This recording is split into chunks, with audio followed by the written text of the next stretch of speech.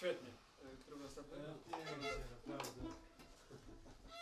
Бо гармоня і акордеони достаю в город. А